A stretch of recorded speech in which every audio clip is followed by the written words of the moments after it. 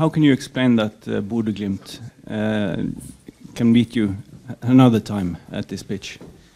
There is only one match that matters. Do you know which one? Next one. Exactly. That's the only one that matters. In the group phase, we didn't win, but we finished first. And there is only one match that matters. Is the next one. It's 2-1 now for them, but 90 minutes to 90 minutes to play. So let's speak after the the second match.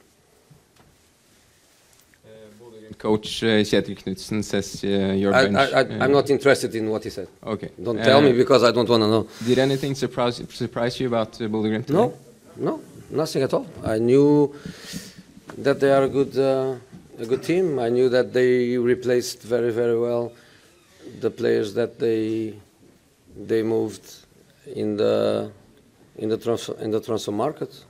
I knew, I knew, no surprise, no surprise. It's nothing about uh, don't respect them or don't consider them a difficult uh, opponent. Uh, nothing at all. I think the match would be much more fair um, a draw. I don't think they were better than us. Uh, I think the game was very, very equal. Uh, we had much better chances than they had. Um, it, that's football. One, the first goal is a ridiculous one. The second goal is a good, uh, a good set piece. Um, we were again uh, very unlucky with the referee.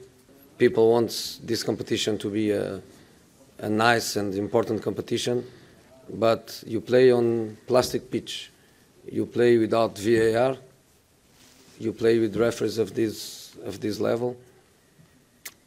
Doesn't give a great image of the the competition. But uh, congratulations to uh, to Bodo, and we are waiting for them next Thursday.